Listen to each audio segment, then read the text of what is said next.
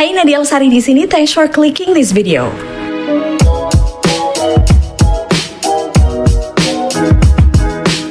Based on this request, di video kali ini aku bakal coba menjelaskan dan ngasih contoh ke kalian tips VO vlog traveling atau wisata. Sebenarnya dulu sih udah pernah aku bikinin tips VO dan contohnya untuk uh, konten-konten uh, wisata atau traveling di sini, tapi waktu itu lebih ke present sih atau announcing atau narator gitu ya kayak ya on the spot di TV gitulah. Jadi kita menginformasikan tempat-tempat wisata. Nah kalau di sini aku akan coba ngasih contoh dan ngasih tips gimana sih kalau kita nge-VO tapi bentuknya vlog.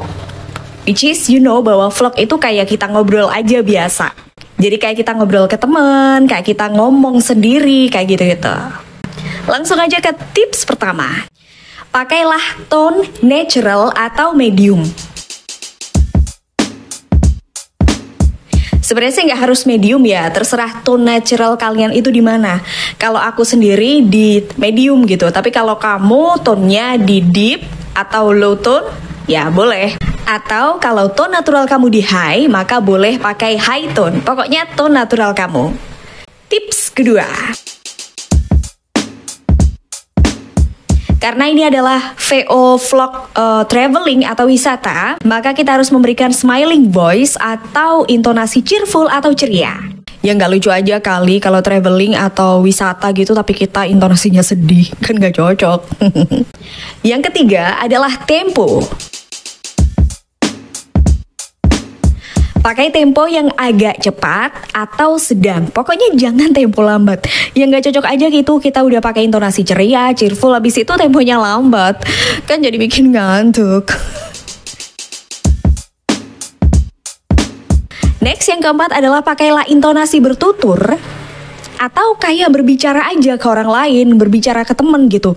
Jadi bukan uh, intonasi narator atau announcer atau announcing, tapi lebih ke bertutur. Tapi bertuturnya ceria. Kalau yang kapan hari di videoku yang ini, itu kan intonasi bertutur, tapi dia lebih ke ngomong ke diri sendiri yang uh, agak-agak sedih atau galau atau overthinking kayak gitu. Nah bedanya di sini intonasi bertutur, tapi kita ceria. Gimana sih kalau kita lagi senang? Cerita ke temen atau ke orang lain, kita lagi traveling di sini nih. Di sini ternyata menyenangkan banget loh. Bagus banget pemandangannya kayak gitu. Gimana sih?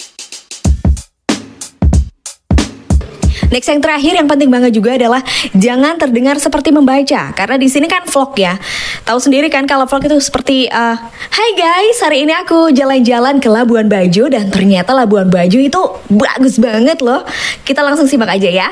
Nah kayak gitu kan. Jadi jangan terdengar membaca Hai guys Hari ini aku ke Labuan Bajo. Wah ternyata Labuan Bajo sangat indah. Itu kan kedenger kayak kaku gitu ya. Ya mungkin oke-oke aja sih untuk VO cuman eh, nggak uh, cocok. Karena kalau untuk VO vlog itu kita harus lebih bertutur kayak ngobrol sama orang lain. Jadi natural banget mengalir kita. Langsung aja ke contoh.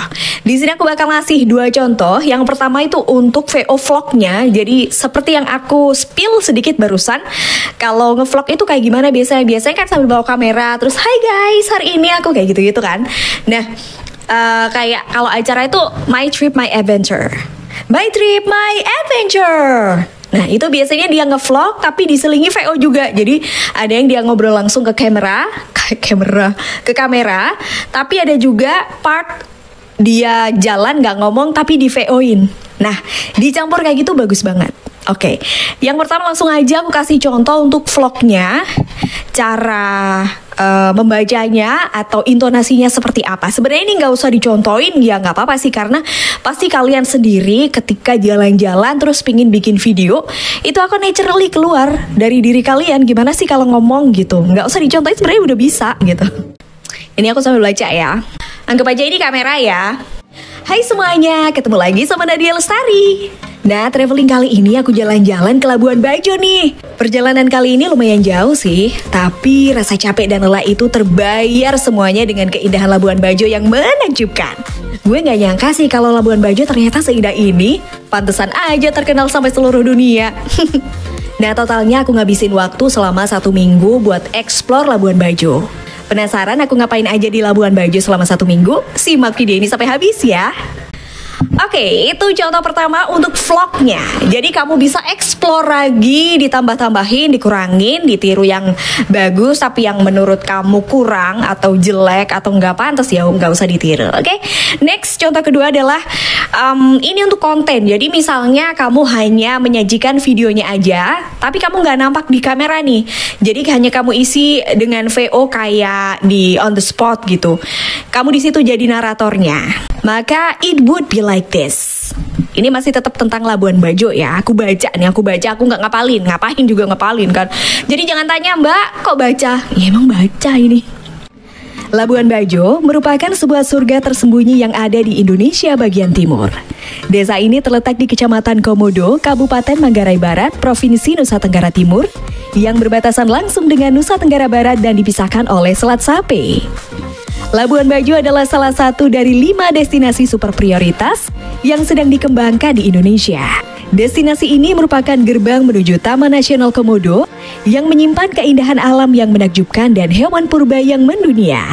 Mulai dari hewan endemik Komodo di Pulau Rinca dan Pulau Komodo, deretan pulau eksotis, keragaman hayati bawah laut, hingga pantai Aduhai semua bisa kamu temukan dengan memulai perjalanan di Labuan Bajo. Menikmati pemandangan langit senja juga bisa menjadi cara lain menikmati Labuan Bajo.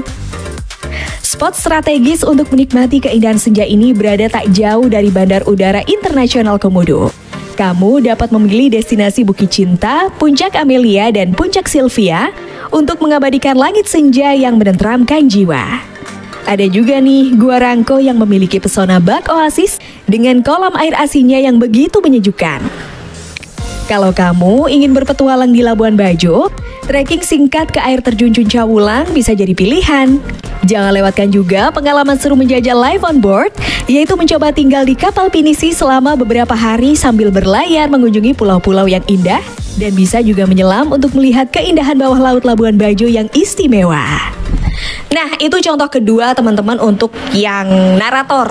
Terserah kamu mau pilih yang vlog tadi, yang lebih kamu uh, bercerita.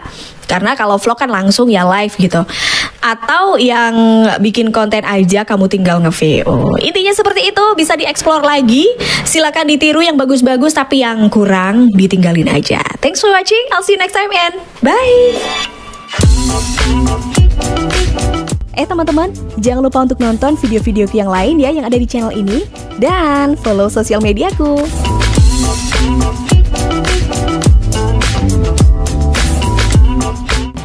Atau ntar berisik ada mobil.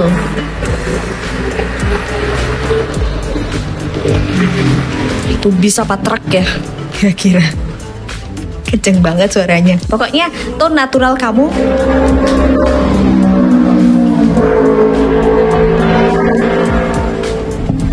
intonasi cheerful atau ceria.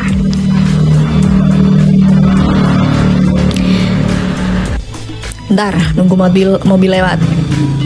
Nah, eh, lewat lagi dia mobil. Aduh, nggak usah dicontohin sebenarnya udah bisa gitu. Motor lewat lagi kencang.